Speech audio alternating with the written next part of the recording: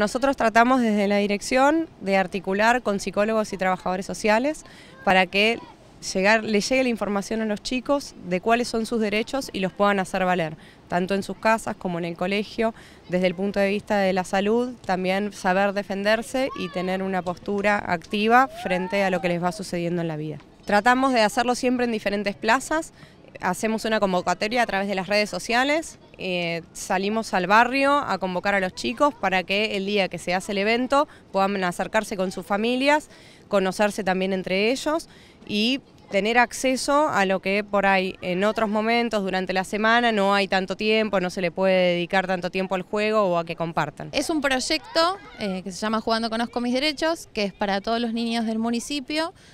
Eh, la idea es una vez por mes desde el área y estamos con otras áreas también de, la Dirección de Desarrollo Humano, Contención e Inclusión Social. Y bueno, todo esto es por medio del juego, eh, así que hay diferentes dinámicas que se realizan para poder promover estos derechos. Está lindo, está lindo porque el año pasado hicieron, el año pasado y bueno, hay un poco de frío, pero no importa. Ellos no tienen frío. Muy bien, felices.